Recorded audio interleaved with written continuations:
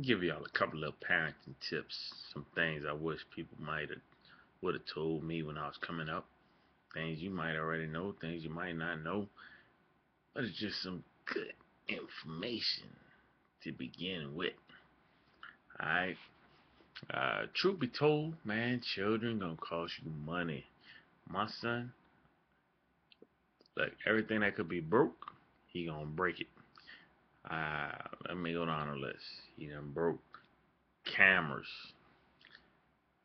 uh, controllers, uh, glasses, dishes, uh, Mac computer, you pour water on the keyboard.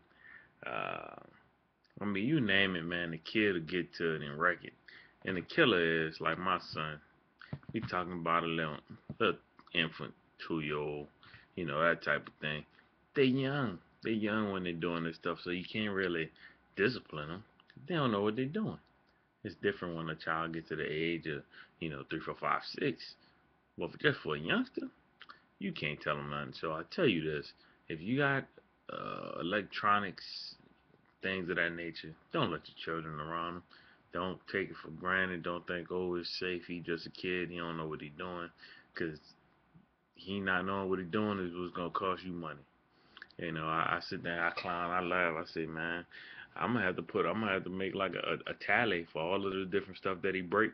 So when he get older, I'm to take it out take it out from his, you know, from his tally. I'm gonna just go around breaking that stuff, saying, "Look, now we even."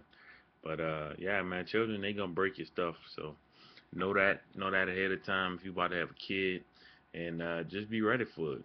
Uh, if you see on the back wall, I guess over here, mind, right, right there. Uh, you get markers, you get colors, you get crayons, or they gonna color on your walls and I got to touch up paint to paint it and, and, and fix it back up. But you know, you're just gonna color on it again. So, so I'm gonna wait a little bit till I feel like kind of out that fade, and I'm gonna go ahead and dress it up. But uh, yeah, man, children they color on walls. I tell my old lady, uh, my wife, all the time, look, don't be buying all these crayons and stuff and giving it to them, man. Or, or, or control it better, cause you know a kid gonna be a kid. They're not trying to draw on paper no matter how good your intentions are, they gonna find a wall and that's what they gonna color on. Let's talk about toys. You know, my son is addicted to Thomas the Train. He's addicted to toys, all kind of trains. If you buy your kid a whole bunch of different toys, do not, I repeat, do not, do not, do not buy him toys with a bunch of small pieces. The more pieces to a toy, the more you're going to have to clean up, the more pieces that's going to be sprinkled along your floor, the more headache and confusion it's going to give you.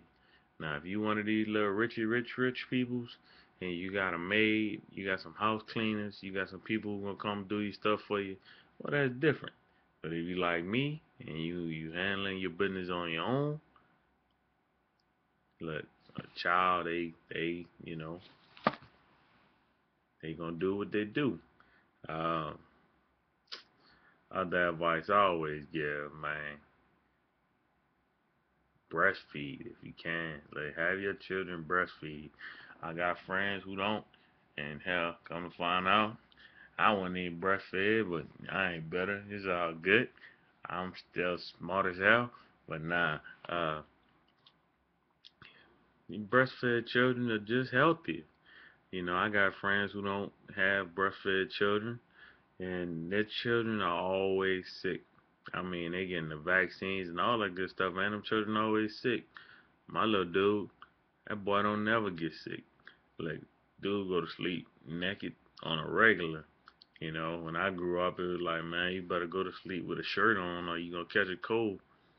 Like, that breast milk got power. They got built-in vaccines and antibodies and antivirals and antibacterials and all that stuff built in from Mother Nature. That's why it's at. So, um, you know, women, if you can, do it. Do it. It's a definite recommendation.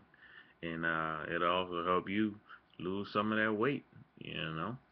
Um, for my fellas, man, look, just be patient. And children try but I tell you what, I've been looking at children who haven't had their daddies around, And uh, if you got the chance to be in your son's life, do it. I'm saying son, daughter too, man. Them children, they need it, they appreciate it, man. So if you could be there for your for your for your little one, step up, be a man, man up, and uh, raise your children. All right, y'all be good.